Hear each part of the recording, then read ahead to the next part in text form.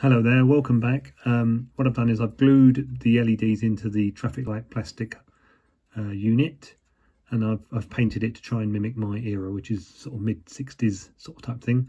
Uh, what I've done is I've, I've, lined up all the LEDs so that all the short legs are on the same side, which you may be able to just about make out from that.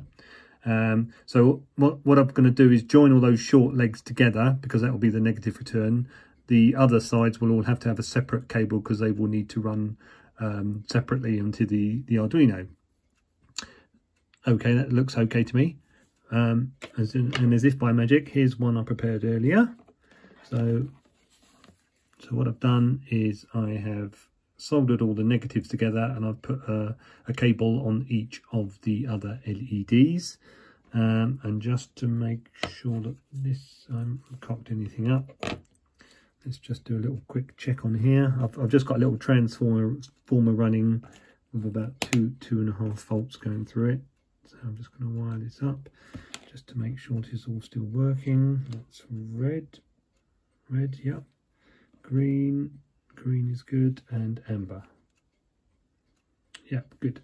So what I'm going to do now is uh, I've got this um, this plastic pipe which my four cables will just about fit down. So I think what I'm going to do is um, sort of do it as a, a sort of post like that, uh, try and get the cables down the back of the pipe. I'm not too concerned about how it looks from the back. Um, I had an idea to put a cover over that, but that's not going to be visible from where I can see the traffic light on my layout anyway. So I'm not too fussed about that. Um, so that's that. I'll just do that. Um, I was sort of looking at some some traffic lights around here, and, and they're about seven foot off the ground, the base of the the traffic light. Um, so on my scale of, of double O gauge, that's um, four millimeters to the foot. So seven foot is going to be about 28 millimeters. So what's that? That's 28 millimeters is sort of about there-ish. So plus obviously the length of the of the actual light itself as well. So I'm going to cut a section off that, feed the feed the cables down, glue that to the back of here and see what that looks like. Right, um, okay, that's done now. Um, it don't look too bad. Uh, I think sometimes you can be over overly critical of your own things and then realise that nobody else would ever notice.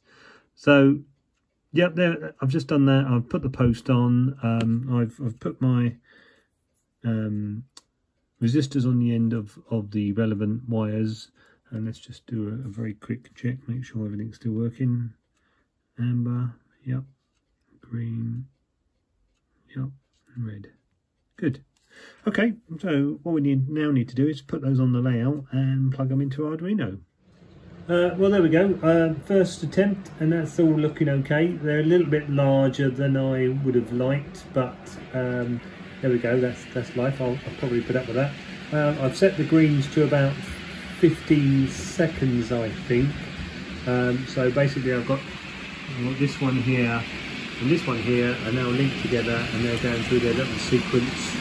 So that's green there and that will then go to amber and red amber and red. And this one will go from red red and amber to green. Okay good what I'll uh, what I'll probably do now is I'll have a go at uh, converting the simple delay statement into a more complicated um, millisecond function and that will then give us more flexibility in how the signals can work. Okay, so we're back in our um, our simple uh, traffic light control uh, sketch, and if you can remember, what we've done is we've just set up some simple lights turning on and off and a delay between each one. We want to get rid of these delays um, and how do we do that? Well the, the best way to do it is to use the internal clock of the Arduino uh, and we can use that with a command called millis. And all millis does is it reads what the internal clock is in milliseconds since the Arduino was was turned on or when we added the program to it.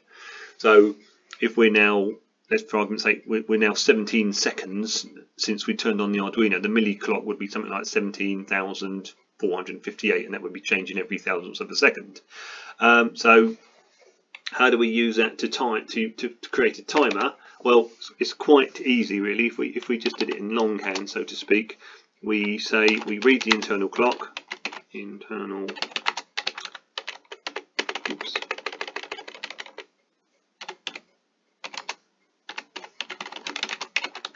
Read the internal clock. We then say, okay, we want to add to the clock, add to this time our time to light a lamp, which could be anything. Let's say that that's 10 seconds. So we've now created a time in the future when something needs to happen and in this instance we'll say we'll want this light to be on for 10 seconds. So what we do then is we just say have we reached the new time? If the answer to that is no then we will need to, to break out of this, this part of the program and jump into something else uh, with, with a proviso that we can keep coming back and checking. So it just no, we haven't reached a new time. Let's just go and do something else. If we have re reached a new time, then all we say is, oh great, okay, well let, us now crack on with the next part of the program. So that's quite straightforward, really. There is one slight complication in all this, in, and that is we need to avoid, uh, as we as we've said, this is a loop program. So it gets to the bottom of the instructions, comes to the comes to the top and starts again. But obviously what we've got to try and avoid is is it reading the internal clock again because if it read the internal clock again it would then add another 10 seconds onto that and, and have another time in the future. So in other words it would never ever get to, to our time because it would, every single time this program came round in a loop it would it would read the, read the clock again. So we, we need to figure out a way to avoid that um, and the two ways that I know of is, is, is one we can use for fairly simple control and that is we just use an if an if statement. So we we basically say if something happens, if it has happened, do this. If it hasn't happened, do something else. So if the internal clock has reached our new time of 10 seconds in the future, do what we want it to do. But if it still hasn't reached it, then go off and do something else and come back. Um, that that's a fairly straightforward way of, of controlling, but ours is going to have to be more complicated than that because we've got multiple lights in multiple states. So the way we will do it is what we will we will create. Um, I think I think it's called a switch case command, but it's, it's otherwise known as a state. In other words, what state are the lights in? And the best way to illustrate that is to use uh, just a pen and paper and draw it out, which is what we're going to do now. So we create a number of states for our um, our signal, our traffic lights, and then all we need to do is just check which state is currently happening and how do we get from one state to another. That sounds complicated, but it's not that complicated when you can draw it out and that gives you a very good basis for then writing our new program. So what we do now is we'll have a look at um, have a, our little drawing we did earlier and we'll make some modifications to that with these states. Right, so here we are back on our little drawing we did first of all. Uh, and what I've done is I've modified this to show how many states these lights can be in, which is, is a surprising number really. So if we start from the from the, the first set, if you like, um, light one is green and light two is red, and I've called that state one. In other words, that's the first state that light, these lights can be in. Um, the second state is when light one is amber and light two is red, and I've called that state two. State three, state four, state five, state six, state seven, and finally, state 8. State 8 is when light 1 has the red and uh, amber on and light 2 has just its red light on. Um, now, you might notice that state 3 shows two red lights and state 7 shows two red lights. So why are we using two different states for the same thing? It's just easier so that we can follow state 3 with state 4 and follow state 7 with state 8. It's just going to make my life easier to do. So there we are. We've we've defined eight states that our light our lights can be in, which is which is quite a lot, but it, it will make things easy when we come to write the program on the Arduino. But the other thing we need to make to make a note of, in fact, we're making another eight states, and that is how do you get from one state to another? In other words, what's the what's the transition between state one and state two? Well, in all our cases here, the actual transition is no more than a timer. It it goes from green to amber, and the and the transition happens because the timer tells it to. But we need to um, we need to create those transitions uh, for the reason I said earlier, is that we don't want to avoid the, the, the clock counter being reset every time it, it comes back to check. So the way we can avoid that, and I mentioned about an if statement, but we're going to use this, these various states to do that. Uh, and a simple way to do that is we call these transitions uh, a number between the two states. So state 1 and state 2, and the transition between the two is, is 1, 2. Uh, we've got state 4 and state 5 and the transition between the two is 4, 5. And the final state 8, the transition between state 8 and going back to state 1 is transition 8, 1. So we're going to create a number of states on our uh, on our Arduino program and we're going to create a number of transitions um, and that will help us think quite carefully about how to change from one to the other. And it, it, will make, it will make sure that we make less mistakes when we do it because we're breaking it down into quite a number of small little packages as it were. So we'll do that now Right, well, I've, I've, jumped ahead. I've, I've, actually written the program, um, and I thought it'd be easier to go through it rather than, than writing it line by line because it took quite a long time to do. So let's have a look at this now. See what, see how I've, I've approached it. What, I, what I've done is I've set up four traffic lights, and um, I'll put those in two sets of two. So set number one is traffic lights one and two, and set number two is traffic lights three and four. So, so traffic lights one and two would be at one junction, and traffic lights three and four would be at, at a different junction. Um, now, what I've done, uh, because we've done away with our delay statements, it, it, means that our user set values, the times for our signals to operate, can be completely independent. So for argument's sake, for traffic light set number one, we've got a green time of 15 seconds. Uh, that's for traffic lights 1 and 2. But if we wanted to change the green time for set 2, which is traffic lights 3 and 4, we could do that completely independently. So they will work in completely different ways. So I could change the green time of set number 2 to 20 seconds, for argument's sake. So they're completely independent. Um, I'll put everything in, in milliseconds now, um, just because it's easier to do, and it, it, may, it, means we make there's less chance of us making a mistake later if we forget to multiply by a thousand. So just keeping it in milliseconds just makes things a bit easier. Um, so that that's that. Um, the definitions haven't changed much.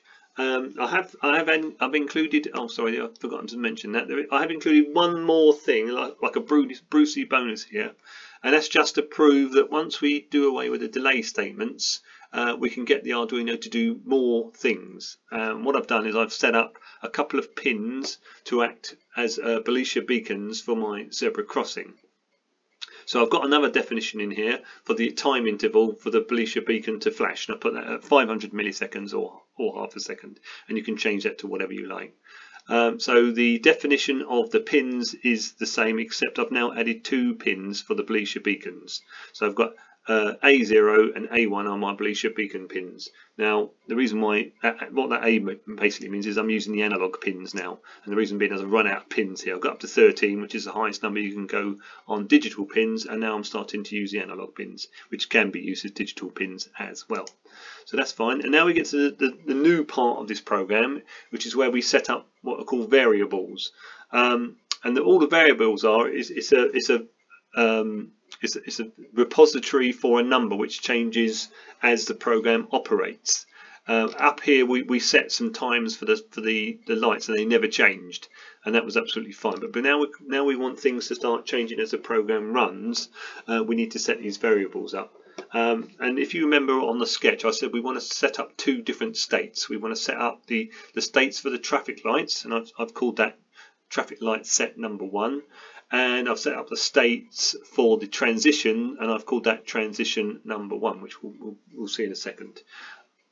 Because we've got two sets of lights, I've got two sets of, of variables. So one and two. So there's number that's that's for that's for uh, set number one, and that's for set number two. Uh, but what you'll notice is I've set, I've already set the state of traffic light set number one to one, and you'll see why in a sec. Um, I've also set up an, another variable for the Belisha beacon LED, and the, and the, reason we need that is so that we can make it flash on and off by by changing its state, as it were. I've then got a load of these, and these are all the uh, timers for our for our our, our traffic lights lights. Um, and as you can see, I've broken them down so that there, I think there are six 16 or 17 here. So for argument's sake, there are two sets of here. One is to tell the Arduino when we want to start the green timer going for signal number one, traffic light number one, and the other one is to tell it when to end. And just, just out of interest, the variable for this is called an unsigned long, which which gives you a bit of a hint that because we're using milli, millisecond timers, the numbers the millisecond timer can go up to can be quite massive, uh, and we could quite easily run out of space in our um, in our variable. Um, so we've we create a special variable called an unsigned long, which we can hold a, a ginormous number, basically. Um, and even though that can hold a ginormous number, um, I think if you left your Arduino running for, uh, I think it's about 50 days, it would eventually, the, the unsigned long variable would eventually run out of numbers uh, and things start, slightly strange things would start to happen. So as long as we don't run our uh, program for more than 50 days, we should be fine. So I don't think that's going to happen. So unsigned longs, that's, they're all variables. Uh, we don't need to, um, to, to, dwell on those too much because we can see what they do in a minute. Uh, we then get to our setup part. Well, that hasn't changed at all. All our pin modes are still set to outputs, and I've added in the two for the Belisha beacons as well. The lamp test starts as well. Um, just out of interest, if you're wondering why I've put delays in here when I've said how bad they are, um, the the the setup, the void setup, only runs once ever, and it's when you turn the Arduino first on. So this is almost like a sort of pre-flight check, as it were. So this will only ever write once. So the delay statements here is, is, is of no consequence to us. So it's going to do our lamp test, go down there, and then it ends the lamp test, and then we're into the actual program part of it called the loop, the loop part of the program. And the very first thing it does is it, it activates our Belisha beacons. And this is uh, an indication of how we use the milli clock here. Because what we've said is if our clock, internal clock is, if the number is larger than when we need to do something, then do this. But obviously it won't be to start with, so because we haven't set anything yet. So what will happen is we set a time in the future. So our Belisha action time is, is the current clock plus whenever we want this interval to be, which will happen to be 500 milliseconds. Um, all that does is it if, if the light if the LED is on, it turns it off, and if it's off, it turns it on. That that um, exclamation mark there does that. Uh, and then all it does then is it writes the, the, the beacons as to how we want them, either either on or off, depending on how that's set up and how long has been in, how long the intervals uh, gone for. So that that little bit there does nothing more than turn the Belisha beacons on and off. And you could duplicate that and have more Belisha beacons on your layout if you wanted to by making Belisha beacons 3 and 4. And you can carry on until you run out of pins on the Arduino basically. So that, that's, that, that's all that does. Now, if we put the delay statement in this in this um, in this program, that wouldn't work because while we're trying to make the beacons flash, the delay statement would be doing something, twiddling its thumb, and nothing would happen. So that's so the first advantage of putting uh, this millisecond clock timer in is the Arduino can now do more than one thing at the same time. It can make our Belisha beacons flash and it can also check how our traffic lights are doing. So then we get on to the actual traffic light part as well. Um, and as I said earlier, this is called a switch switch case command. Um, and I suppose the easy way to think about it, if you think of the switch um, as, a, as a corridor and the cases as doors in, in that corridor, and if you remember rightly, I said that um, when we looked at the diagram for our traffic lights, there were eight different states that they could be in. So there are eight states, and that means that there are eight cases. Case one is state one, case two, case three, case four, all the way up to case eight, and they're all they're all within this this switch command, which we've called traffic light set number one. So there, so that cover that covers traffic lights one and two. So the, the first thing that will happen is the program will get down to here and it will say, oh, okay, we've got a switch command here. Uh, and the variable is traffic light set number one, which case is, which door, if you like, is open to us. Well, we've already opened one door because up here, if you remember rightly, we set traffic light set one to one. So program comes down, it gets to our first uh, switch statement. It says is there any uh, cases which, which are open to us? Is the door open? Yes, case number one is open. So then it does whatever's inside case number one. In other words, if we've opened the door to case one and it does what's inside. And the first thing it does, it says, okay, what, what's case one? What is state one? State one is the green uh, light, one is on, and on traffic light number two, the red light is on. So sets all the all the LEDs to suit. So for traffic light number one, green is on, is high, and for traffic light number two, red is on its high. Fantastic. What happens then? It then says, oh, okay, right. Well, we're going to start our timer now for our green light. So we start the timer, which is equal to the current clock time. And the end time will be some somewhere in the future. It will be the, the current clock time plus whatever we've called green time number one, which up up up on the top we called it 15,000 milliseconds or 15 seconds. So it's it knows what time it is now. It knows when it needs to end. What happens next? Well, it, the problem we could have here, if we kept that like that, it would just keep coming to here and resetting this timer, and, and the 15 seconds would be forever in the future. So what we do is we say, right, okay, we're up and running now, uh, but what we want to do is we want to get from state one, case number one, to state two, case number two. And how do we do that? Well, we need to we need to activate the transition between the two. So if you remember on our drawing, we had a transition between states one and two, which we called one, two. So what we do is we say, okay, right, we're now going to open the door one, two in transition one, which we'll see in a second. Uh, and the way we stop the, the, timer coming back in here to reset this timer is we set our, our state traffic light set number one, which is which, which is what we're in now. We set that to zero. In other words, the door's now closed on case one. It can't get back in here.